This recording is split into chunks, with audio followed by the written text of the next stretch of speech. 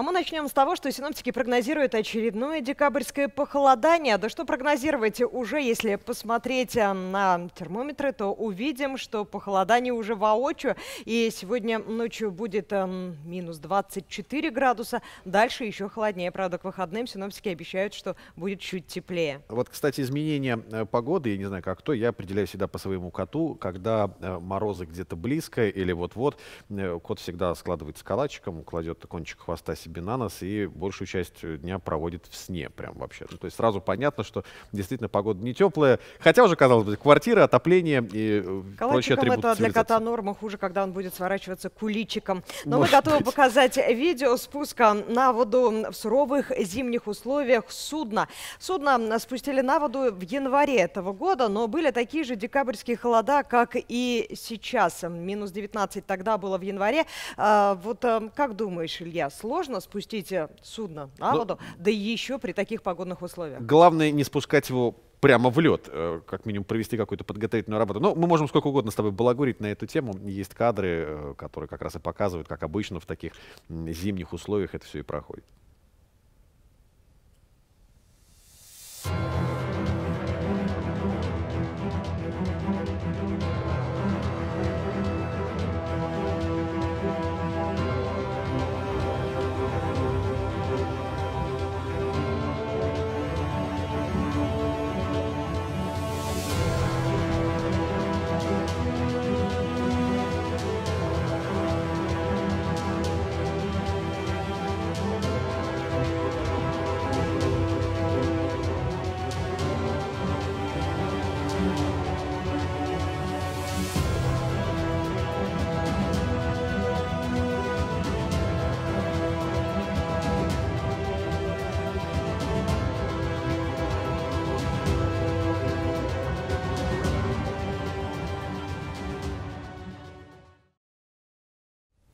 Сухогруз Виктор Андрюхин успешно эту навигацию отходил. А теперь, э, наверное, какие-то ремонтные работы предстоит сделать, а завод «Красная Сюрмова», к счастью, нижегородцев не простаивает. Еще несколько судов подобного типа должны спустить на воду в ближайшее время. Сегодня в нашем эфире тема серьезная – глобальная детская безопасность. Вернее, как э, привить культуру безопасности современным детям. Ну, чего греха таить, э, вот все, казалось бы, есть, да, там и телевидение, и комфортные условия, и родители стараются, и интернет, но очень часто чувство опасности притупляется у детей, у современных. Но, это факт, о чем Илья, давайте будем говорить не просто о безопасности, потому что чаще всего, как мы подразумеваем под опасностью, что? А, то, что какой-то дяденька за углом, да, вот какая-то реальная угроза, которую мы видим воочию. Но в последнее время чаще приходится говорить о кибербезопасности, безопасность в цифровом пространстве. Вот это намного важнее. И э, теперь уже на одной из современных отечественных онлайн-платформ появился вот такой цикл мини-фильмов, если можно так сказать, которые как раз посвящены цифровой безопасности. Сделано все по-серьезному, снято, я бы сказал, даже кинематографично,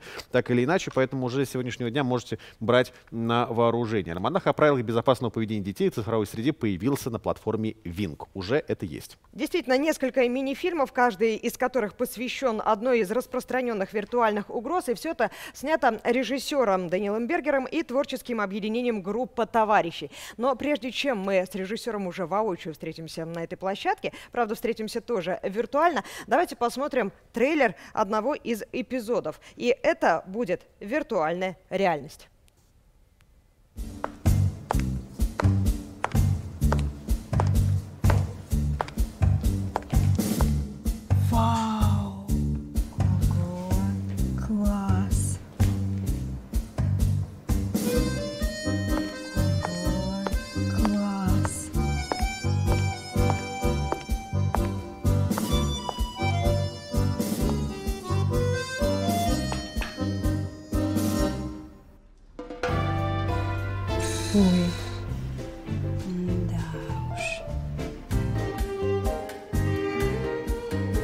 Как вообще? Вот коротенькие такие, как это называется, трейлеры, да, сейчас доступны, потому что увидеть полную версию можно будет, собственно, только на онлайн-платформе. Но это же серьезная работа, кинематографическая прежде всего, как мне кажется. И, и должен заниматься серьезный человек. По картинке получилось очень красиво. И знаешь, когда я показывал нашей режиссерской группе эти работы, э, ребята уже сказали, да, впечатляет, э, хотя это всего лишь трейлер. Полный э, формат мы еще не видели. Видел только создатели, кто готов на эту платформу, платформу Винг, заступить и посмотреть. С нами на видеосвязи сейчас режиссер Данил Бергер. Данил, добрый день. Добрый день, Данил. Здравствуйте. А, вот как это можно правильно обозначить, вот эту серию вот этих вот фильмов, роликов? Это, не знаю, там, игровое, неигровое, социальное кино, если можно так сказать. Вы сами как бы это определили? Ну, для меня было важным э, снять такие фильмы, которые были бы интересны детям и взрослым э, не только как инструкция, а именно как э, ну, какие-то вот действительно просто фильмы. А, в конце каждого фильма идет анимированная инструкция, говорящая о том, как правильно себя вести в цифровом пространстве. А, но, как мне кажется, вот э, сейчас все-таки ну, такое время, когда дети не очень любят инструкции, дети любят все изучать сами, и э, большую часть информации они черпают из собственного опыта. Вот. Я хочу, чтобы эти фильмы э, заменили бы им негативный опыт э, вот, и дали понимание того, как не надо себя вести, как надо себя вести в интернете. Цель благая, но учитывая, Интересно. что современная медиа-среда подростков это ТикТок, да, вот эти вот короткие ролики по несколько буквально там десятков секунд, иногда даже меньше, сложно ведь, наверное, держать напряжение детей. Вам, вам это удалось, как вы считаете? Ну да, судя по всему, ну, скажем так, судя по премьере в кинотеатре, судя по моим собственным тестовым прогоном а, в цифровой среде, да, удалось. То есть там а, глубина просмотра доходит до 100%, практически в 70%. Э, точнее, э, глубина просмотра 100% в 70% от всех просмотров. Это ну, хороший такой результат. Две трети зрителей, как бы, ну, объясняют наши зрители, досмотрели, досмотрели до, конца, до конца, смотрели каждую минуту. Ну, наверное, поэтому да, да. целью и ставили э, ваша режиссерская группа э, делать именно короткие такие фильмы, потому что по часу смотреть детям сложно. Мы сейчас любим покороче 6, 10, 12 минут. Правильно? Да. Данила, буквально пару лет назад а, вы снимали в Нижнем Тагиле примерно о том же самом, о безопасности. И тогда проект назывался «Город без опасности». Вот а, прошло какое-то время. Опасность для детей, она меняется? Она становится какой-то другой? Ну, а, я хочу немного да, рассказать о том проекте. Это вообще как раз был мой самый первый опыт столкновения с детской тематикой. Мы снимали этот фильм совместно с э, поисково-спасательным отрядом э, Лиза Алерт. Вот. Э, но уже тогда я понимал, что достаточно небольшое число детей там пойдет действительно в лес за грибами и заблудится. А, то есть, да, это, это очень страшная ситуация, реально, я, я понимаю, как это страшно там для родителей, для всех окружающих, когда ребенок теряется в лесу. Но, будем откровенны, таких детей не очень много. А, вот, э, как э, вы правильно отметили в начале нашего разговора, э, детей, которые сейчас подвергаются угрозам в интернет-пространстве, их намного больше.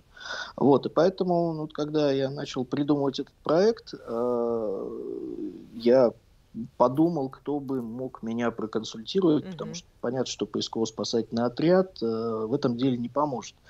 Вот, и я познакомился с компанией э, Ростелеком Solar, э, которая занимается э, как раз вот э, вопросами кибербезопасности на самом высоком уровне, можно сказать. А, вот, и они начали меня консультировать. Потом подключились еще какие-то компании, которые тоже очень помогли мне, в частности, там, НСПК, это национальная система платежных карт. Вот. А, в концов, вот получился такой проект. Интересно, то есть вы, вы прямо вот идете со, сознательно по этому интересному э, пути, трудному, но интересному, потому что, наверное, сейчас время коммерческое, многие занимаются вещами коммерческими, снимают бесконечные елки какие-нибудь, да, или еще такое. Вот э, человек занимается другими вещами. Давайте сейчас я, вместе... Я, я, я, занимаюсь, я занимаюсь своей другой жизнью обычными коммерческими вещами. Хорошо, понятно. Социальному тоже остается место. Давайте вместе с Данилом сейчас посмотрим трейлер еще одного мини-фильма. Называется он «Лучший подарок», о том, как радостные поиски подарка, вот, например, в предновогодней ситуации, которая сейчас есть, может обернуться печальными последствиями. Анна Михайловна, здравствуйте. Служба безопасности банка. Ой, это не Анна Михайловна. Мама сейчас в ванной. Вы ее дочь? Да. Назовите свое имя. Вика. Все верно. Виктория, в данный момент злоумышленники пытаются получить доступ к банковскому счету твоей мамы. Нужно срочно заблокировать операцию. Ты сможешь? Ой, да, я сейчас позову маму. Мама! Стоп, на это нет времени. Прямо сейчас преступники взламывают пароль. Мы отправили на телефон твоей мамы смс с кодом. Ты должна продиктовать его, чтобы мы могли остановить мошенников. Назови цифры. Ой, да, сейчас. Вика, быстрее. У нас осталось всего 5 секунд. 300709. Алло. Алло. Получилось? Да, напряжение вот держит. У меня мурашки по коже, Классическая потому история. что у меня ребенок примерно такого же возраста, и я прекрасно понимаю, что ребенок с благими намерениями пытается спасти банковскую карточку мамы, и, э, конечно, все вопреки благому желанию получается ровно наоборот. Здесь не только для детей, я бы сказал, для некоторых взрослых очень полезные инструкции, ну, если полностью да, посмотреть. Сейчас, Данил, ну, мы- видели, что дети тоже играют вот в этих как раз фильмах э, роли. С детьми ведь всегда тяжелее работать, да, уж э, пример Яралаша, извините, вот что вспоминаю о нем, но не могу не вспомнить. Это сложная большая работа. Вам с детьми легко было? Они вот вас как режиссера э, слушали или, может быть, даже свои какие-то вносили коррективы в съемочный процесс? А, Они вносили кор- кор- коррективы не только в съемочный процесс, но и в сценарий. А, Все сценарии, когда я их написал, я обсуждал с детьми, с подростками, со своими знакомыми, с теми, кто будет играть. Вот. И их свежий взгляд очень помог. Там где-то мы концовку поменяли, где-то какие-то фразы более подростковые вставили. А, Но вообще мне с подростками очень комфортно работать, действительно. От них чувствуешь очень большую отдачу. Но это и чувствуется. Вот мы сейчас смотрели трейлер, да, очень часто, к сожалению, видно, когда ре- ребенок не заинтересован в съемках, такое часто бывает, и на камеру всегда это очень видно, когда вот такая пластиковая какая-то игра, такая, чтобы взрослые дяденьки с камерами отстали. Здесь немного по-другому, не знаю, как вот зовут девчонку, которую мы видели, но... Но она большая молодец. Актриса. Данила, Аль- Аль- Аль- Альбина, Альбина Шмидт, абсолютно случайно найденная девочка, живущая в городе Пушкино Московской области. Вот ведь как. э, да, Большая интересно. умница. Данила, вот э, из э, мини-фильмов есть разные тематики. М, Часть мы уже показали, часть покажем чуть позже. Там будет и буллинг, а там будет и опасность в соцсетях. Вот э, как вы думаете, удалось все темы кибербезопасности затронуть или еще есть над чем поработать? А, Естественно, тема эта, ну, не могу сказать, что бесконечная, но гораздо более объемная, чем мне удалось показать. Я э, взял не то чтобы самые распространенные даже угрозы, но я взял самые опасные, на мой взгляд, для ребенка. Ну, там за исключением как раз вот мошенничества с банковскими картами, остальные темы, они скажем так, угрожают э, иногда здоровью и даже жизни. А, вот. Ну да, но ну, то есть, много п- других опасностей, поэтому, в общем, как-то, ну, наверное, наверное, в следующем году, если получится, там, если будет время и возможность, я сниму там еще 3-4 фильма. Ну да, чтобы альманах только ширился и разрастался. Спасибо большое за возможность пообщаться. Знаем, что мы э, Данила Бергера вырвали От просто из съемочного съемочного процесса как раз процесса. да. отвлекаем. А Режиссер Даниил Бергер был с нами на связи, автор вот такого альманаха из эм, шести мини-фильмов о кибербезопасности детей. Но вот представьте себе, вам на телефон поступает э, сообщение. Непонятное, тревожное сообщение. Как с ним быть? Открывать, не открывать, пересылать друзьям, не пересылать, отвечать, не отвечать? Вот этот вопрос также поднимается в одном из мини-фильмов под названием «Максимальный репост».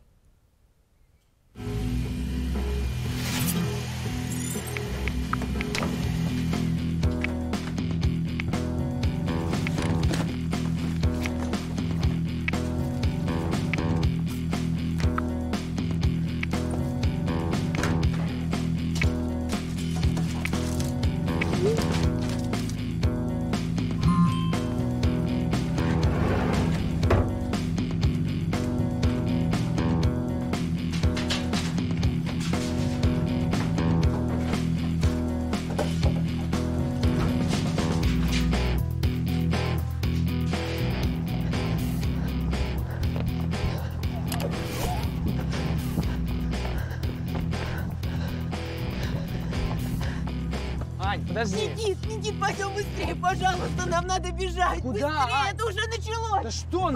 началось? Можно сколько угодно с детьми разговаривать дома. Это, конечно, тоже очень важный момент. С детьми говорить нужно, но можно и вместе посмотреть вот такие мини-фильмы. Это полезно и для детей, и для взрослых. Мы прямо сейчас прервемся на небольшую рекламную паузу, а потом вернемся в наш эфир.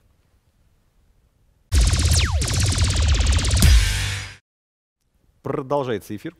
Да, Оксана, и ты э, хочешь сказать, что эфир тоже продолжается, наверное. Конечно, потому что мы сегодня говорим о безопасности наших детей в э, цифровом пространстве. И согласитесь, оттуда опасности сейчас гораздо больше, нежели в открытой реальной жизни. Мы с одним экспертом э, поговорим буквально через одно мгновение, после того, как посмотрим еще один мини-фильм, который говорит о том, что подросток решил заработать себе на новый телефон. Каким образом? Да предложили ему побыть наркокурьером, а К за это предложили бывает, да. большие-большие деньги. Правда, не сказали, что за это потом тюремное наказание от 8 до 15 лет. О, круто пацан поднялся. С чего вдруг? А ты не знаешь, что ли? Не, а чё? Да он кладменом стал. Круто.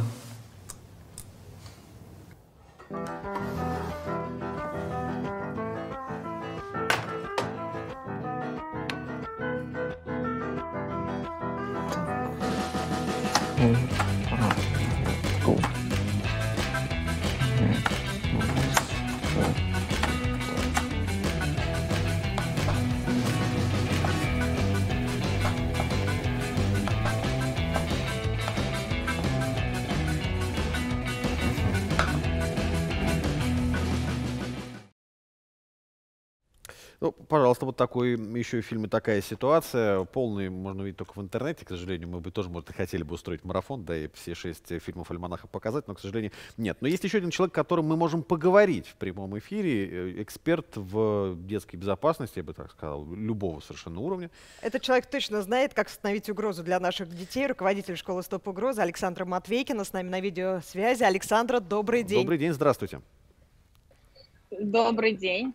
Видим, слышим, А, спасибо. Мы сегодня вот показываем ролики, вообще говорим о том, что уникальный эксперимент в Нижнем Новгороде снимают фильмы цифровые для молодежи, где рассказывают о том, какие есть опасности. И вот режиссер этих самых фильмов, который был несколько минут назад в эфире, говорит, что это лучший способ достучаться сейчас до молодого поколения. Не учить чему-то, не читать нотации, а просто показать вот э, такую медиапродукцию. Вот вы солидарны с таким подходом или все-таки старая, добрая, э, родительская такая лекция еще имеет место быть? Ну, родительская лекция, конечно, хорошо, продукты тоже хорошо, но мало того, что продукты должны быть эффективными, их нужно еще с детьми грамотно разобрать. Потому что мы тоже на- на- в нашей работе, на тренингах используем различные ролики, э, даже м, сюжеты с телевидения, но при этом очень важно с ребенком разобрать, какие же алгоритмы могли не привести к определенным последствиям. Да, потому что э, те же самые, да, подработка курьерами идет к тому, что дети идут за какими-то своими целями, преследуют определенные да, э, инициативы и попадают в ситуации, а последствия об этом при этом не знают. Да, то есть важно с детьми еще на одном уровне разговаривать. А при этом родители, дети не всегда готовы слушать, потому что родители всегда находятся чуть выше. Они всегда чуть более читают нотации. Давим опытом в таких за- случаях. Да, они запрещают, либо, ну, как бы уже пошли родительские угрозы, шантаж, да, стандартные, как любят сейчас говорить, в вопросах воспитания, особенно подростков, да, что я тебя лишу, запрещу и так далее, что тоже уже не сработает. Ну, Саша, вот какие есть сейчас а, цифровые безопасности, опасности для наших детей? О чем дети сами вам говорят, когда вы воочию с ними встречаетесь на тренингах? Ну, если говорить про цифровые, конечно, в первую очередь это проблема поддельных профилей, да, под которыми может скрываться кто угодно, а дальше цели могут быть абсолютно разные. Это и э, вымогательство да, денег, и угрозы в реальной жизни, и шантаж, если человек вошел в доверие, получил какие- какую-то либо личную информацию, либо фотографии интимного характера.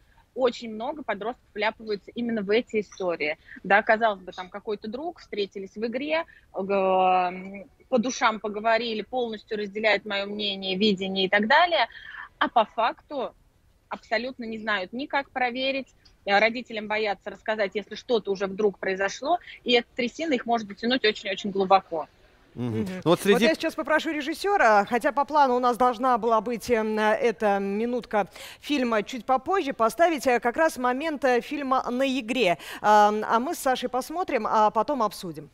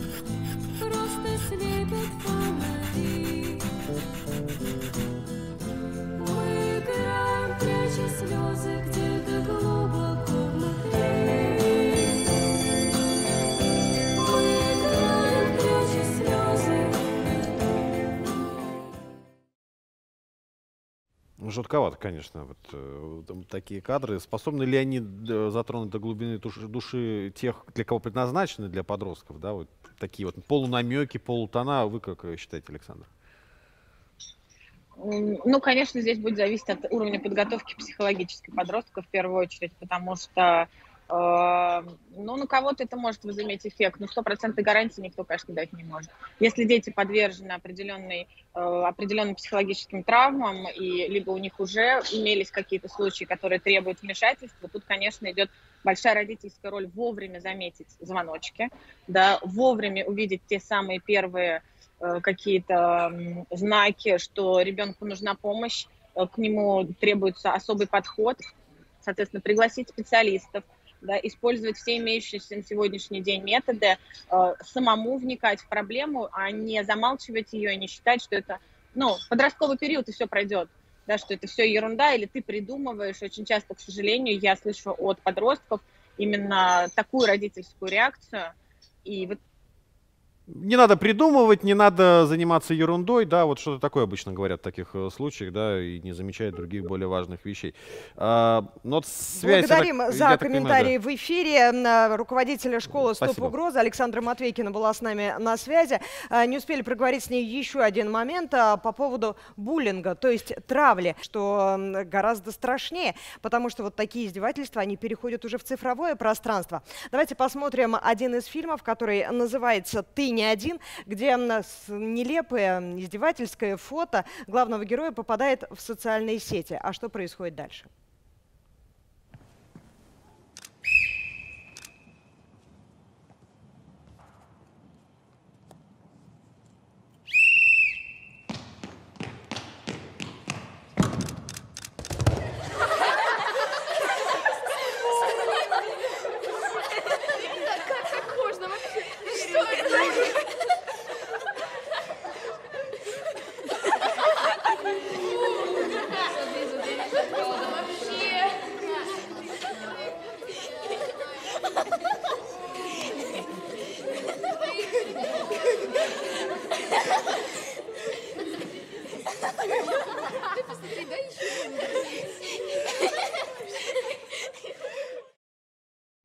Тема хороши, может быть, такие фильмы, что они рассказывают, во-первых, о ситуациях, ведь многие родители могут даже и об этом не подозревать. Но знаешь, Оксана, я что вспоминаю? Вот в советское время, помнишь, вышел фильм «Чучело». Вот я не про книгу говорю, да, книга, она как-то вот потише прошла. Когда появился фильм, вот как раз тема школьного буллинга, да, вот этого взаимоотношения в подростковой среде, ведь сколько тогда людей пальцем показывали, говорили, нет такого, такого не, не может бывает. быть, это Но все, все придумано. на своей практике, да. на школьной практике это, конечно же, прошли. И скрывать это глупо. И в такой ситуации важно своему ребенку помочь, даже если весь класс, вся школа от него отвернулась. Прямо сейчас уйдем на короткую рекламную паузу, потом вернемся в наш эфир. Продолжаем э, эфир прямой, хотя мы уже, наверное, все проговорили из того, что должны были. Вот какова цель нашего сегодняшнего разговора? Скорее дать направление, да, чтобы многие, кто сейчас э, эфир Нижегородского телевидения посмотрел, поговорил с детьми, поговорил э, со старшим поколением, я не знаю. Мы вообще за то, чтобы люди больше общались. Больше общались на позитивные темы, вместе как-то проще. Но завершить эфир да. хотелось бы все-таки красивой предновогодней точкой. Накануне, ну как накануне, на прошлой неделе в Совет Федерации в Москву приезжала большая делегация Нижегородской области. Мы в наш юбилейный год презентовали наш регион для Совета Федерации. И вместе с первыми лицами региона приехал Нижегородский губернский оркестр, чтобы и Совет Федерации посмотреть, и себя показать, а самое главное, исполнить волшебную музыку. И мне кажется, у них получилось, потому что один из отрывков, который мы сейчас поставим, это «Щелкунчик» Петра Ильича Чайковского и волшебный вальс цветов. Ну, впрочем, да, давайте наслаждаться этими кадрами. Может быть, кто-то даже сможет немного потанцевать под эту музыку. Thank you.